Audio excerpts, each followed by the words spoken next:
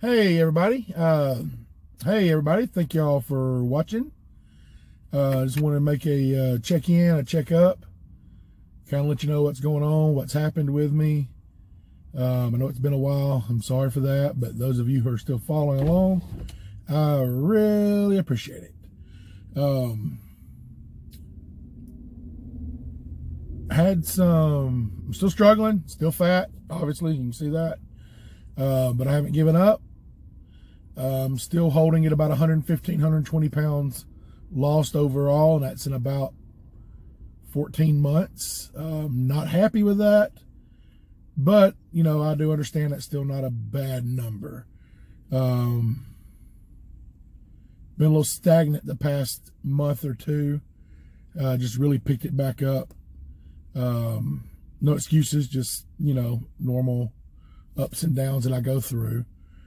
Um, really pushing through, trying to get to the point where I don't have the downs that um, even when something gets me and I get taken down, I get back up. Um, not completely there yet, but fortunately the downs don't last as long. You know, I don't fall off the wagon for six months anymore. It's for a couple of weeks and then I'm right back at it. Um,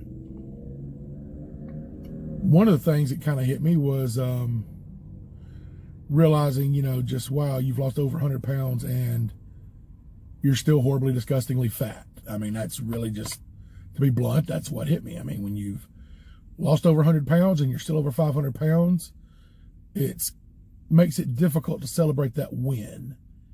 Um, everybody says I'm irrational. Everybody thinks it's crazy, but it is what it is. It's still it's it's difficult to appreciate to celebrate a win when the road's so far.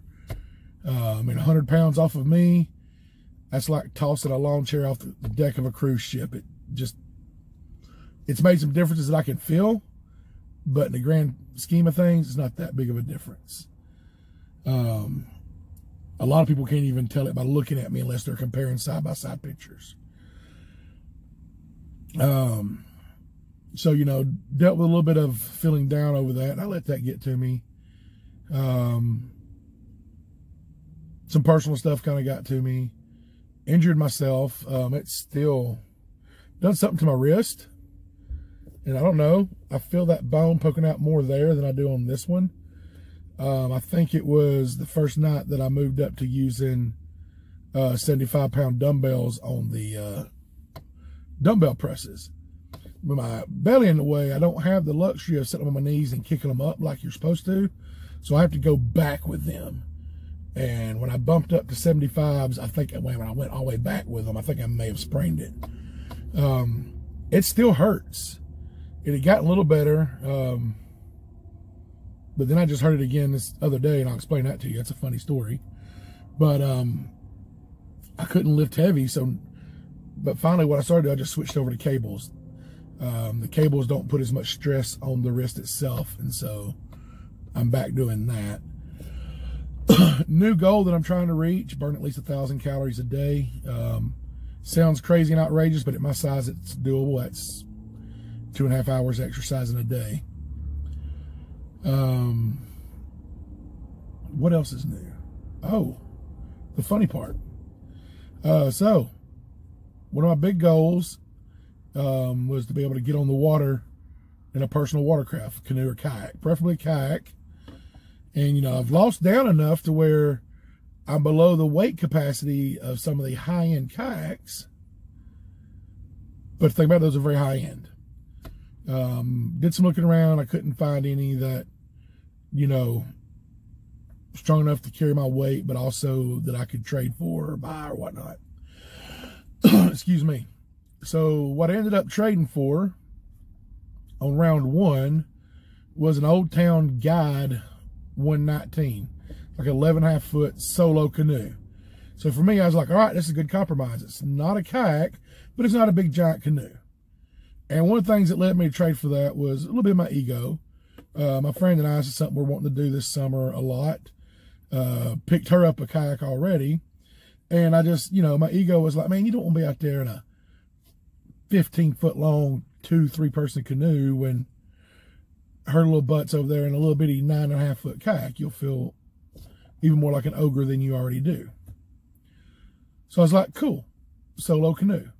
Now I knew I was a little over the weight limit, but I was like, it's a canoe. It'll, you know, no, no big deal. So my brother went with me and found a place out on Gunners what was easy to put in, put in, set down, pushed out, and immediately capsized that sucker. It would not hold me. Um, if I can figure out the editing, I'll insert picture or video here. You know.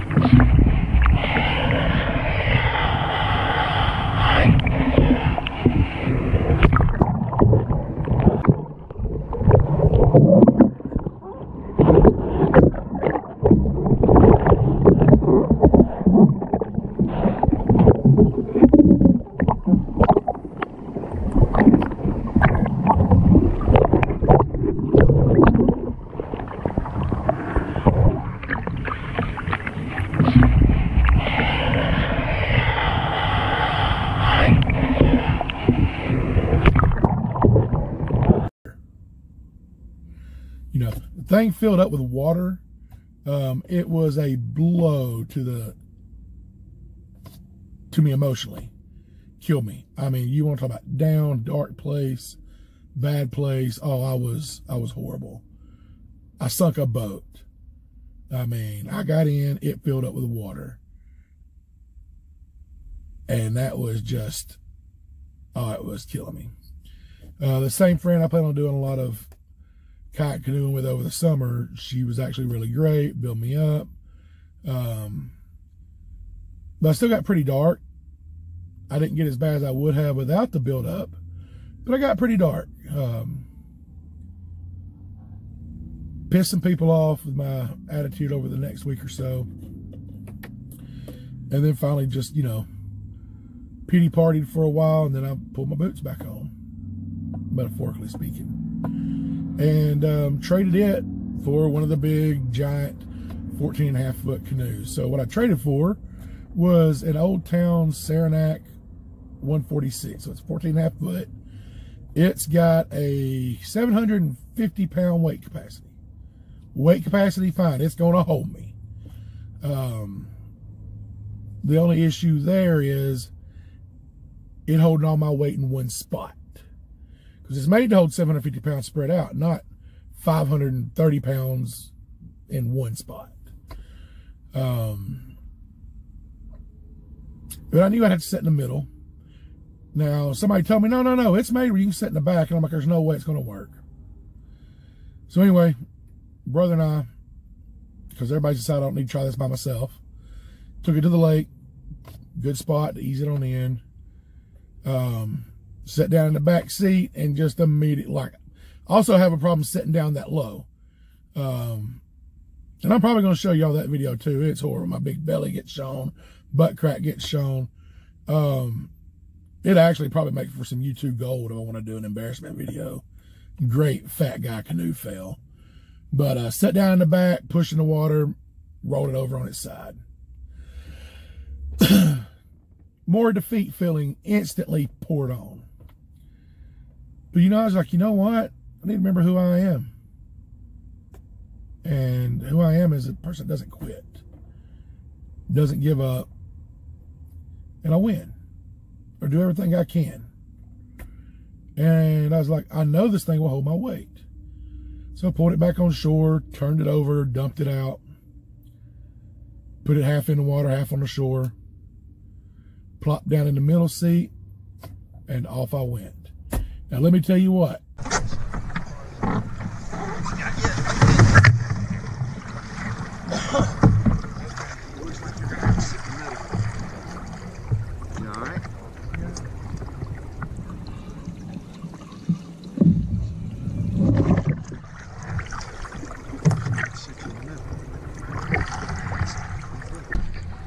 Hey, am I moving?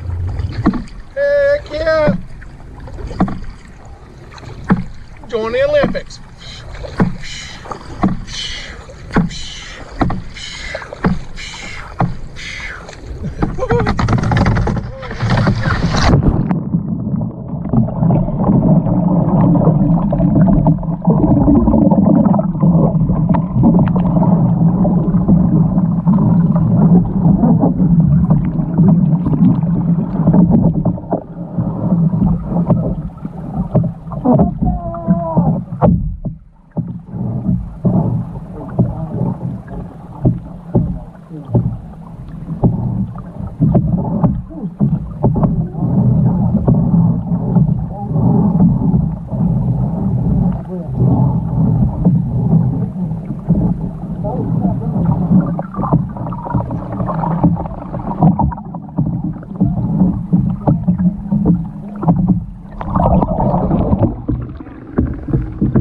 First, I get my big ass up.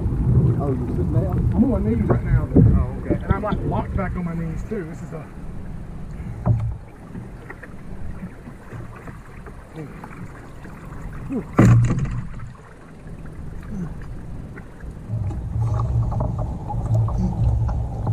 One foot up. Um, it was unsteady. Um, it holds my weight, but it ain't meant to hold that much weight in one spot. So I have to be really careful with my movements because even paddling too hard wants to make it roll, which I did. I ended up, uh, after I'd been out on it about 10 minutes, got into a good groove. I mean, I even made it through overriding some weight from other boats, but I got a good click going. I was back, forth, back, forth. I'm using a kayak paddle because I'm in the middle. And then just moved a little too much on one of the strokes and whoop, flipped again. And the water was shallow enough and I'm big enough that it actually pinned me to the bottom of the lake. Um, so I did the cartoon thing where I stuck my head up inside the canoe, got a breath of air, then flipped over on my back and then pushed the canoe off of me. Um, and then got back on it. Um, and it was funny because I just told my brother, I'm like, trying to be careful because I go in the water again, we're done. And I went in the water again, and I'm like, you know what? I'm not done. So I drug it back to shore because I can't get it in the water. I drug it back to shore, got it back up there, got back in it, and I was actually even launch it by myself. My brother didn't even help me push it off. and then I was able to paddle around for about another 20, 30 minutes. I did not get wet again until I actually decided to get out of the water. Um, any y'all who watch for you know I've got a bad hip that needs replacing. Um, wasn't able to do it very long because it was killing my hip from the angle I was sitting. And I couldn't adjust around to ease the pain because if I adjust, I'm going to flip it. So I'm probably going to add some outriggers to it to help stabilize so I lose some more weight. But the fat guy canoe fail turned into a fat guy canoe win because I know I can do it even if it's just for an hour max. Great thing, hour of canoeing at my weight burns darn near a thousand calories. So I'm going to try to work this in a couple times a week if possible. Um, and I'll put video, I'll, I'll put in videos and pictures along the way too. Um, what else is going on? Oh, have my knees checked out by the orthopedic, orthopedic surgeon. They don't need replacing at this time, but they are eat up with arthritis. Also, my knees are killing me because when I fell, one of the times I fell in the water, knees went right on down some rocks. So both kneecaps are bruised. Um,